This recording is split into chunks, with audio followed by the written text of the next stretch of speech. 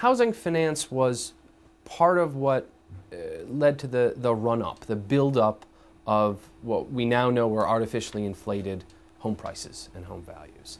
Um, there was uh, what I like to, to call kind of a, a, a, black hole effect coming from the financial markets, from the bond markets. There was this endless appetite for mortgages to be packaged up.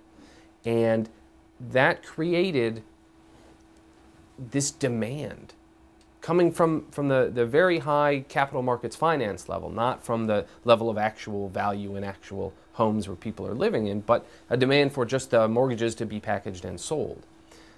The problem was that encouraged us to put a lot of debt on, ho- on housing, on homes. And the more we put on, the more home values went up. Because if you can borrow more, you can spend more to buy the house. And that was part of, not the only thing, but it was part of what led to that great run up in home prices that once the bubble burst was a drop in home prices. When you get a sudden drop in asset values like that, that's part of what can really dampen economic activity and, and change people's perceptions about what the future is going to look like, where they should put their money, what they should be doing. So housing finance was part of it. We lost some discipline.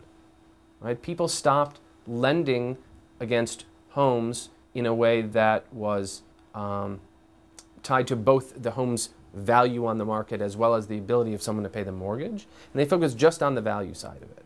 And when you start making loans just on that value and you assume that values will always go up, you just keep lending more and more.